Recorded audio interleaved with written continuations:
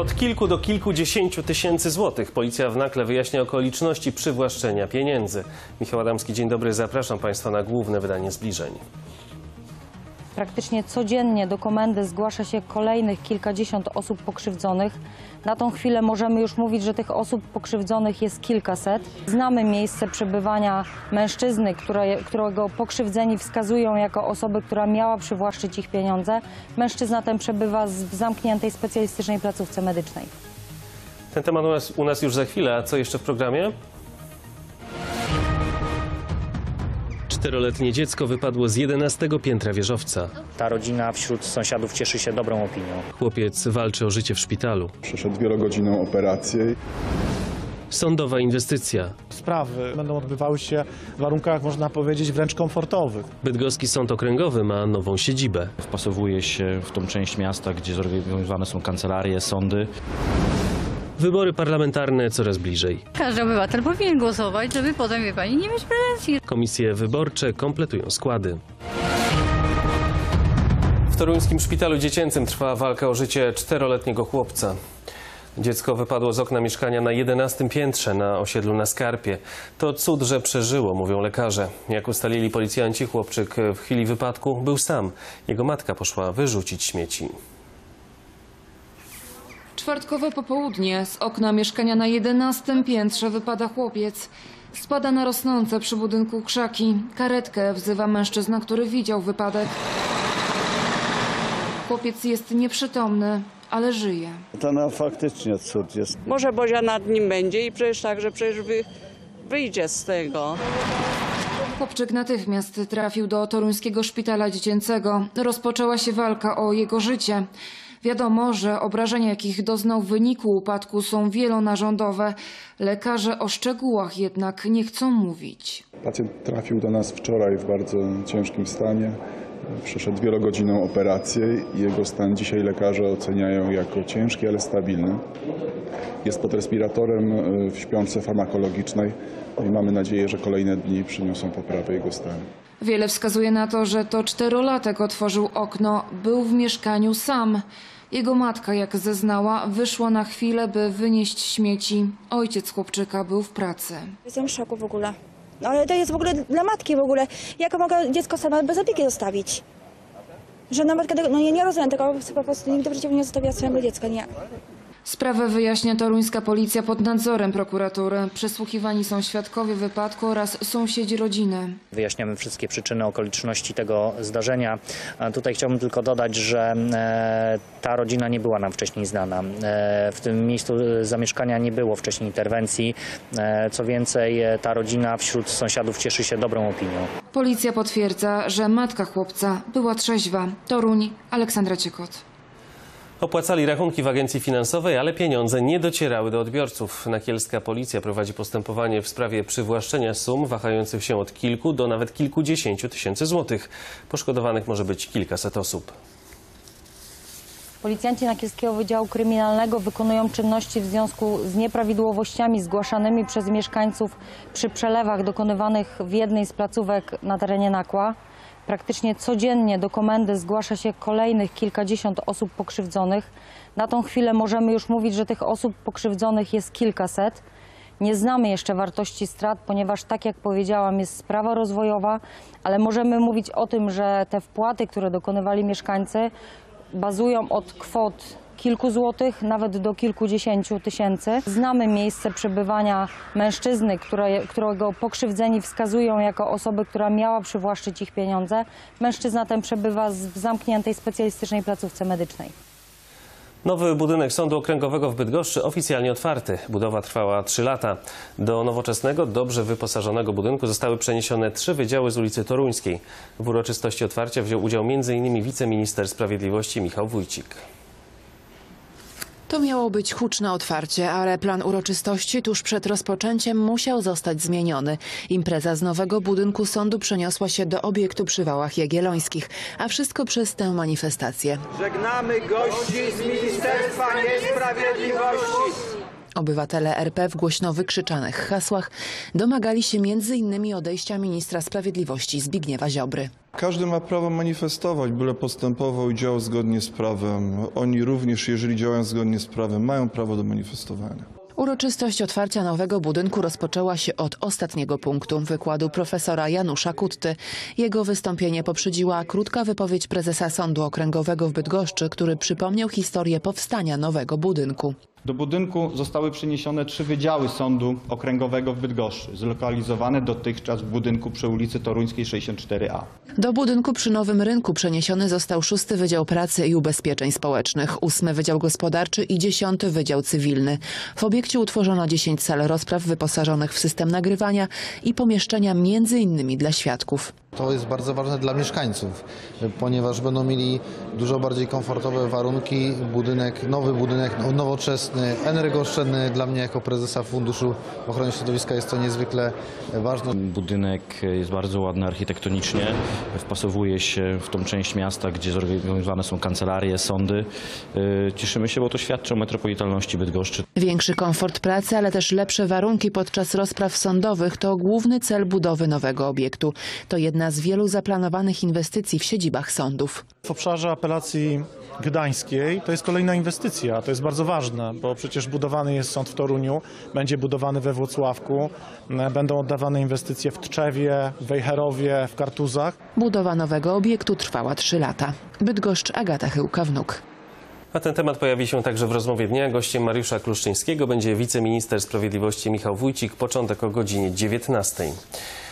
I kolejne informacje. To było spotkanie merytoryczne i mobilizujące do pracy. To opinie działaczy Prawa i Sprawiedliwości po wczorajszej konwencji wyborczej. Prezes partii Jarosław Kaczyński odwiedził Włocławek i Bydgoszcz. Wymienił najważniejsze założenia programu PiS i udzielił poparcia regionalnym kandydatom do Sejmu i Senatu. Włocławek i Bydgoszcz. Dwa miasta, dwie regionalne konwencje, dwa okręgi wyborcze i jeden program. Prezes Prawa i Sprawiedliwości zapowiedział m.in. kontynuację dotychczasowej polityki społecznej, a także podwyżki płacy minimalnej. To jest polska wersja państwa dobrobytu. To jest dzisiaj nasz cel. Cel, który można zrealizować nie w ciągu jednej kadencji, mówię o tej przyszłej, ale w ciągu trzech czy czterech. Możemy być przynajmniej na średnim poziomie Unii Europejskiej albo nawet wyżej, a nieco później możemy dogonić Niemcy. O tym, że zmiany wymagają czasu, mówił również Tomasz Latos, lider listy PiS w okręgu bydgoskim. Reforma służby zdrowia to proces, podkreślał. W poprawie sytuacji szpitali i pacjentów mają pomóc dodatkowe nakłady na służbę zdrowia z dotychczasowych 100 do 150 miliardów złotych rocznie. Oczywiście kolejki w dalszym ciągu są, będziemy je dalej skracać, ale warto powiedzieć chociażby o niektórych dziedzinach. Endoprotezy, zaćma, diagnostyka. Można było, można było. Uwolniliśmy limity, daliśmy szansę. W okręgu toruńsko-włocławskim listę kandydatów PiS do Sejmu otwiera Jan Krzysztof Ardanowski. Minister rolnictwa mówił m.in. o wsparciu kół gospodyń wiejskich, rosnącym eksporcie, a także programach modernizacji dróg lokalnych oraz retencji. Za kilka dni uruchamiamy program małej retencji nawodnień w gospodarstwach, z którego skorzystają tysiące gospodarstw. Nie tylko po to, żeby zapewnić dochody rolnikom, ale po to, żeby ustabilizować ceny i podaż świeżych warzyw i owoców na rynku. Żeby nie było zależności od tego, czy popada, czy nie popada, będziemy mieli albo nie warzywa i owoce. Wczoraj szeroko, dziś politycy Prawa i Sprawiedliwości zawężają tematykę i wskazują najważniejsze punkty programu pod kątem Kujaw i Pomorza. Ja myślę, że taką e, kluczową, sztandarową e, inwestycją, która łączy zresztą cały region, łączy e, dwa największe miasta, Bydgoszcz z Toruniem, to jest droga S10 i ten, ten odcinek bydgosko-toruński. Chyba wszyscy mieszkańcy naszego województwa wiedzą, jak to jest ważna i istotna sprawa. To plany, ale podczas konwencji podsumowano też dotychczasowe działania. Prezes PiS Jarosław Kaczyński przypomniał najważniejsze programy rządowe. 500 plus jest tutaj symbolem, ale tych przedsięwzięć było więcej. Pamiętajcie Państwo, że myśmy kierowali naszą politykę społeczną zgodnie z rozwijającymi się możliwościami nie tylko w stronę polskich rodzin, ale także w stronę seniorów, w stronę niepełnosprawnych. To, jak będzie wyglądała przyszłość kraju, zależy od Polaków, podkreślali uczestnicy konwencji we Włocławku i Bydgoszczy, zachęcając do udziału w wyborach. Myślę, że mm, e, po e, dzień po wyborach obudzimy się w takiej rzeczywistości, e, o jakiej marzymy. To znaczy, że społeczeństwo po raz kolejny powierzy nam e, zarządzanie, rządzeniem, układaniem i meblowaniem naszego kraju, naszej małej i wielkiej ojczyzny. Emocje po konwencji jeszcze nie opadły, mówią działacze PiS. Sala wypełniona po brzegi, wspaniała atmosfera, bardzo energetyczna e, i no cóż, e, mogę powiedzieć jeszcze, po e, wystąpieniu pana prezesa, e, po jego obecności w naszym regionie, w naszym mieście, jesteśmy jeszcze bardziej e, zmotywowani do tego, żeby pracować dalej. Jeszcze trzy tygodnie wytężonej pracy przed kandydatami wszystkich partii. Do końca kampanii wyborczej pozostało 21 dni. Polacy pójdą do urn 13 października. Wiceminister Edukacji Narodowej i kandydatka Prawa i Sprawiedliwości do Sejmu Iwona Michałek podsumowała swoje dotychczasowe działania na rzecz toruńskiej policji. Wynikiem współpracy posłanki z komendantem miejskim jest m.in. remont jednego z komisariatów.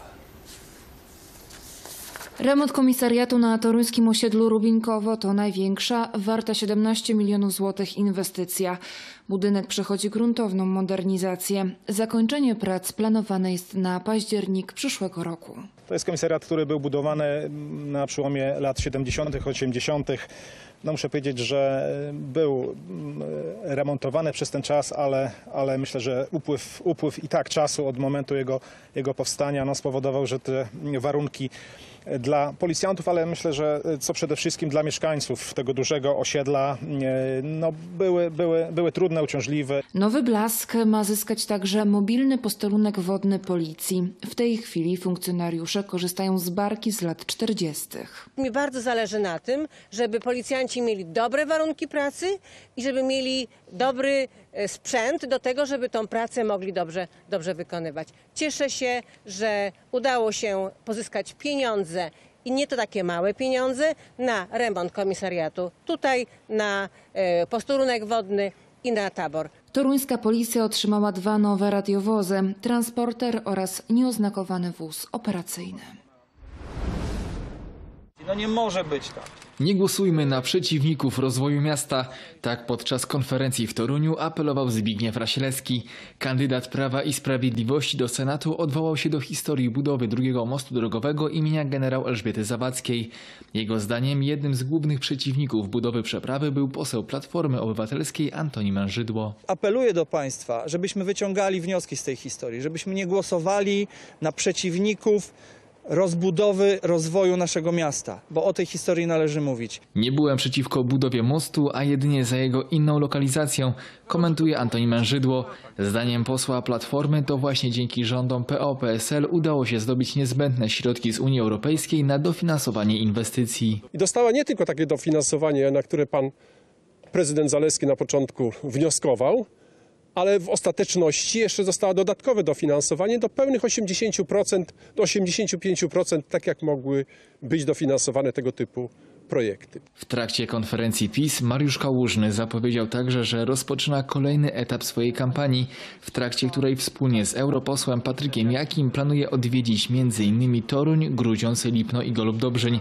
Kandydat Prawa i Sprawiedliwości do Sejmu wezwał również kandydującego z list Koalicji Obywatelskiej Tomasza Lęca do debaty. Chciałbym rozmawiać o konstytucji i demokracji w Polsce. Chciałbym rozmawiać o płacy minimalnej i sytuacji przedsiębiorców. Chciałbym rozmawiać o programach społecznych i szanowni państwo, chciałbym przede wszystkim rozmawiać o obronie rodziny przed ideologią gender, ideologią LGBT. Tomasz Lęc postanowił nie komentować słów Mariusza Kałużnego. Otwarcie nowych uczelni i wydziałów medycznych, wprowadzenie wynagrodzenia dla kierownika specjalizacji czy wybór rzecznika praw pacjenta w wyborach powszechnych. To niektóre z postulatów kandydatów Konfederacji Wolność i Niepodległość w wyborach do Sejmu. Według posła Pawła Skuteckiego jednym z głównych problemów polskiej służby zdrowia jest brak lekarzy i pielęgniarek. Receptą na ten problem miałaby być płatna specjalizacja. Młodzi lekarze mogliby otrzymać od państwa nieoprocentowany kredyt specjalizacyjny, który byłby częściowo umorzony w przypadku podjęcia decyzji o pracy w kraju. Kandydaci do Sejmu zwrócili także uwagę na brak odpowiedniej profilaktyki i nieodpowiednie podejście do pacjenta. Jeżeli chodzi o stosunek systemu y, ochrony zdrowia do pacjenta, nie, nie zmienił nic. Pacjent, pacjent dzisiaj wciąż nie jest podmiotem e, równorzędnym czy głównym celem ochrony zdrowia.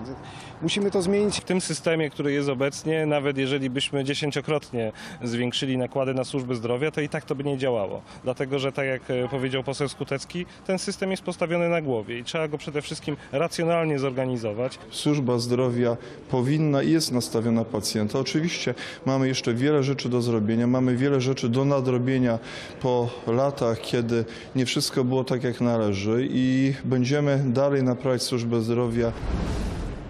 Kandydaci do Sejmu z komitetu SLD sprzeciwiają się mowie nienawiści. Nawiązują do felietonu profesora Aleksandra Nalaskowskiego, który ukazał się w tygodniku sieci. Artykuł pod tytułem Wędrowni gwałciciele to według nich brutalny atak na środowiska LGBT i osoby, które je wspierają. Nie będę przytaczać e, obraźliwych epitetów, którymi uraczył nas w swoim e, artykule profesor Nalaskowski. Nie mam słów, jak czują się jego e, studenci, którzy nie należą do osób, e, które są osobami nieheteronormatywnymi. Język, którym posłużył się pan profesor w swoim felietonie jest naganny.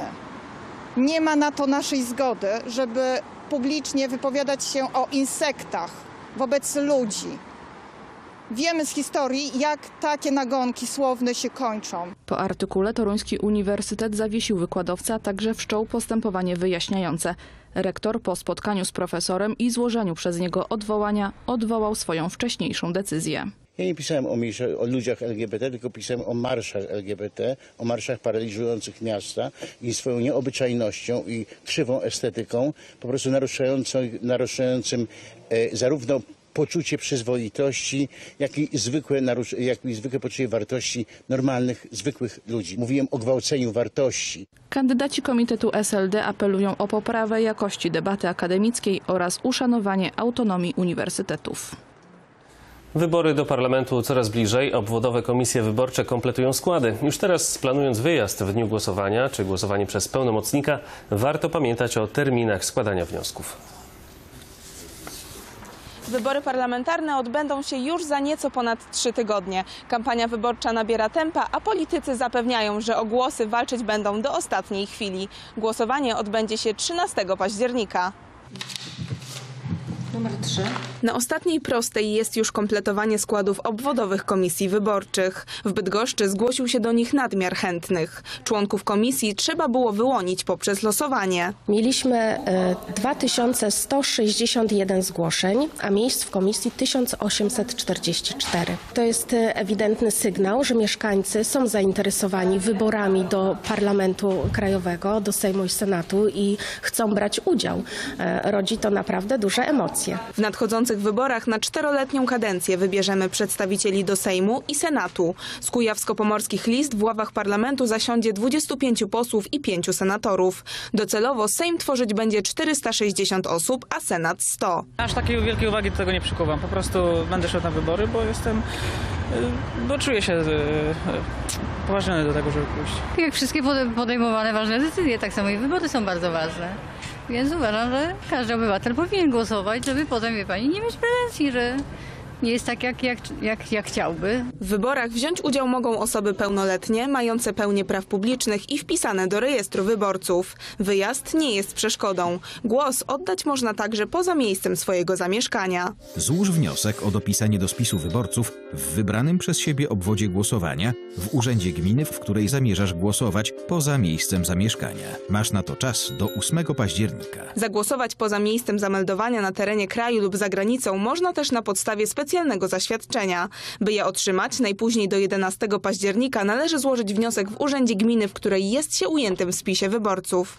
O terminach pamiętać muszą też osoby chcące oddać głos poprzez pełnomocnika. Twoim pełnomocnikiem może być tylko osoba, która jest wpisana do rejestru wyborców w tej samej gminie co ty lub ma zaświadczenie o prawie do głosowania. Prawo do głosowania przez pełnomocnika przysługuje wyłącznie wyborcom niepełnosprawnym w stopniu umiarkowanym bądź znacznym, albo też wyborcom, którzy najpóźniej w dniu głosowania kończą 75 lat. By zagłosować przez pełnomocnika należy złożyć wniosek w urzędzie gminy, w której jest się wpisanym na listę wyborców najpóźniej do 4 października. Kinga Wasilewska, TVP3 Bydgoszcz. A już w poniedziałek pierwsza z kilku przedwyborczych debat TVP3 Bydgoszcz. W telewizyjnym studiu spotkają się kandydaci z drugich miejsc na listach wyborczych w okręgu toruńsko-włocławskim. Debaty parlamentarne 2019. Pierwsza już w poniedziałek 23 września o 17.30. W programie na żywo wezmą udział kandydaci z drugich miejsc na listach okręgu toruńsko-włocławskiego. Tematem spotkania będą kultura i polityka historyczna państwa. Debaty parlamentarne 2019. W poniedziałek o 17.30 w TVP3 Bydgoszcz.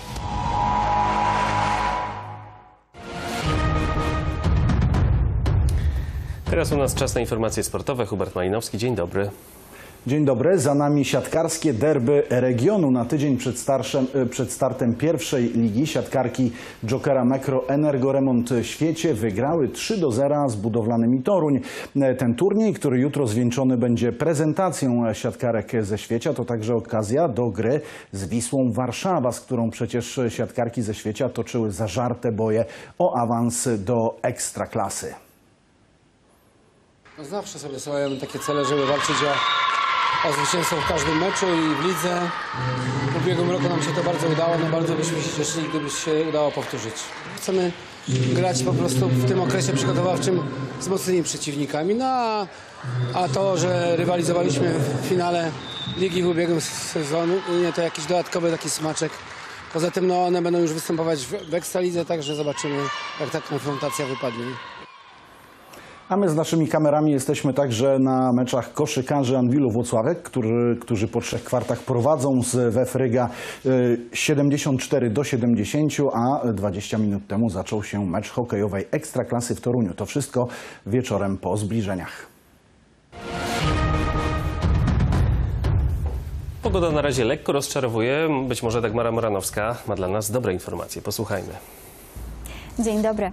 Wrzesień nie rozpieszczał nas zbyt słoneczną aurą, za to w nadchodzący weekend pogoda szykuje dla nas małą niespodziankę. Zanim to nastąpi, jutro w regionie jeszcze przewaga chmur na niebie, a na termometrach od 15 do maksymalnie 17 stopni. Za to w niedzielę zdecydowanie więcej pogodnego, błękitnego nieba, a na termometrach nawet do 20 stopni. O szczegółach opowiem już za chwilę. Zapraszam. Tyle tak Dagmara Maranowska. My kończymy główne wydanie zbliżeń o 19:00 rozmowa dnia, a nasz wieczorny serwis o godzinie 21.30. Dziękuję Państwu za spotkanie. Do zobaczenia.